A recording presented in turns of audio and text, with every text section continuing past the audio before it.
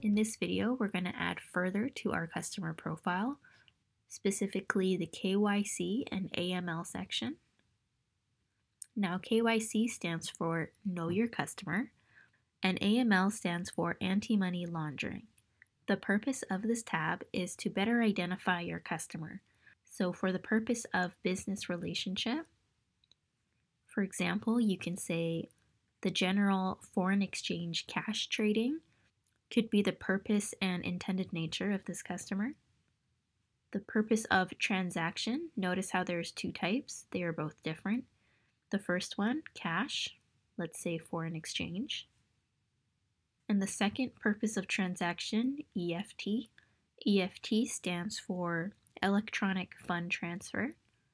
And if we click on that, we will say this is for family support, for example. Now, for the source of funds, this could be personal income. However, note that when your customer is doing a transaction and we ask for this information, it might not always be the same. So, this is a default case so that we can compare later on against transactional cases. Now, for the estimated monthly income, this will be a numeric value, and it may not necessarily be accurate unless your customer discloses that information.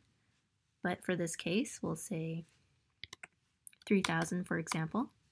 Now for the homeowner, this may not be relevant depending on your customer, but say if you are asking for a loan from the bank, then it will be helpful to know that this person is a homeowner.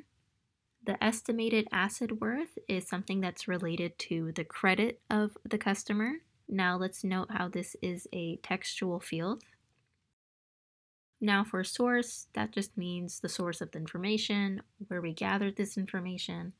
For example, you could say Google, or you can even say ask the customer, and so on. Now here we may want to put the customer on hold. If you do so, if you click on it, you're going to have to describe a reason for this.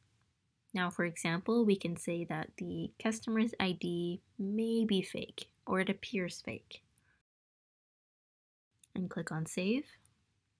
Now this will put the customer on hold where transactions can't appear. Now if that's the case, you can also say that the customer is suspicious and you'll also have to provide another reason. We can say here that they provided a fake ID on their first visit, for example. And click on Save. Now for the AML notes, this is not to be filled out by the tellers. However, a compliance officer can mm. change or verify or do whatever they want to it. Now, for the PEP status, PEP stands for politically exposed person.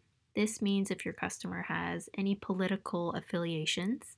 If they do, this will put them at high risk, and we will have to say that they are PEP positive, and you will have to provide a reason. For example, you could say that you asked the customer for any political affiliations, and they said yes.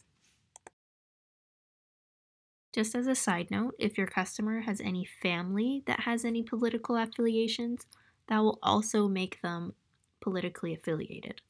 They will also have to make that customer PEP positive. Now for the HIO status, HIO stands for Head of International Organization.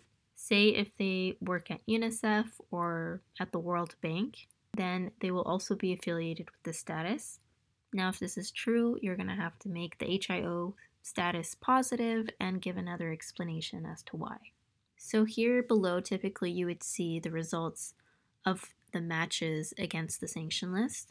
So this is just for verification purposes, and you can always see if the name is on the sanction list, and you want to make sure that the person is clear on the sanction list PEP will test against the PEP list. If the list below verifies that it is cleared, then we can actually make this PEP into not a PEP. And then you can say that you asked the customer and it was also verified on the PEP list. If all your checklists are green, then that means you're all good.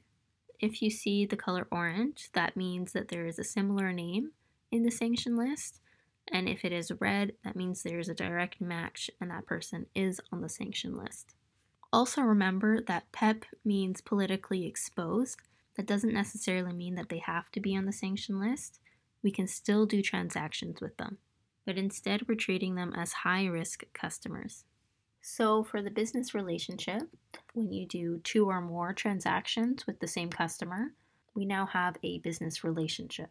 If that's true, then we're going to have to say establish business relationship.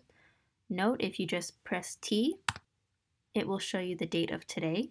This is to signify when the business relationship was started. If someone is on a established business relationship, you're going to need to constantly monitor them. Just a quick note at the bottom, notice how there's these two checks. If you have all supporting documents verified and they are original, you would want to click on that. And then tick to determine whether you met this customer or not.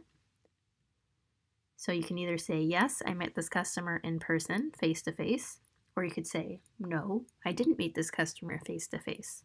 For whitelisting, this is only available for the compliance officer. So you can whitelist names that are on the sanction list that aren't actually on the sanction list. And now we have completed the KYC and AML for this customer. Again, this is just a way to better identify our customer. Once you have completed this, click on Save. Now if we click on the customer, we'll see On Hold and Suspicious appear on their ID, noting that we had previously indicated something about this customer. If you have any questions, please feel free to contact Clearview Systems and have a wonderful day.